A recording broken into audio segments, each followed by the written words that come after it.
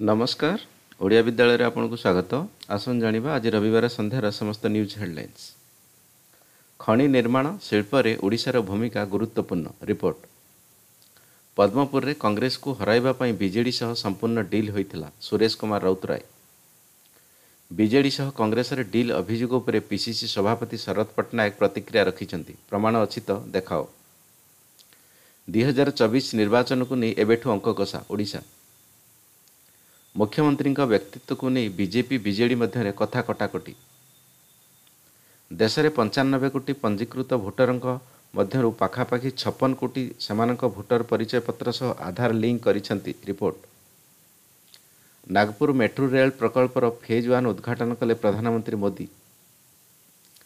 ମୁଖ୍ୟମନ୍ତ୍ରୀ ଭାବେ ଶପଥ ନେଲେ ସୁଖବିନ୍ଦର ସିଂ ସୁଖୁ ମୁକେଶ ଅଗ୍ନିହୋତ୍ରୀ ହେଲେ ଉପମୁଖ୍ୟମନ୍ତ୍ରୀ ହିମାଚଳ ପ୍ରଦେଶ।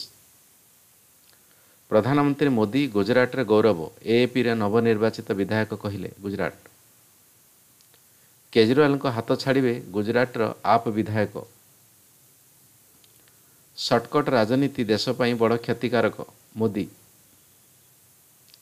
ଗୁଜରାଟରେ କଂଗ୍ରେସକୁ କ୍ଷତି ପହଞ୍ଚାଇଛି ଆମ୍ ଆଦମୀ ପାର୍ଟି କହିଲେ ଗେହଲଟ।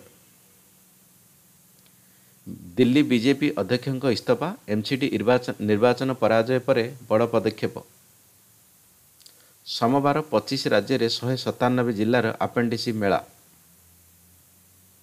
ମୋପା ବିମାନ ବନ୍ଦରରୁ ନନ୍ଷ୍ଟପ୍ ଉଡ଼ିବ ଦୁଇଶହରୁ ଅଧିକ ବିମାନ ପଣଜି ଗୋଆ।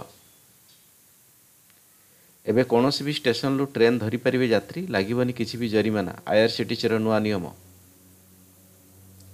ସ୍କ୍ରାପ୍ ବିକ୍ରି କରି ଶହେ ଚାଳିଶ କୋଟିରୁ ଅଧିକା ଟଙ୍କା ଆୟ କଲା ଉତ୍ତର ପଶ୍ଚିମ ରେଲୱେ। ଇଣ୍ଟେଲ୍ ନିଜର କର୍ମଚାରୀଙ୍କୁ ଛଟେଇ କରିବା ଆରମ୍ଭ କରିଛି ଓ ତିନି ମାସ ପାଇଁ ବେତନପ୍ରାପ୍ତ ଛୁଟିରେ ହଜାର ହଜାର କର୍ମଚାରୀ ପଠାଇଛି। ରଷିଆ ଓ ପାଶ୍ଚାତ୍ୟ ମଧ୍ୟରେ ହୋଇପାରେ ଭୟଙ୍କର ଯୁଦ୍ଧ। ନେଟୁ। ଇଶାନ କିଷାନଙ୍କ ଧୂଆଁଧାର ଦ୍ୱିଶତକୀୟ ପାଳିଲେ ବିହାରରେ ଉତ୍ସବ।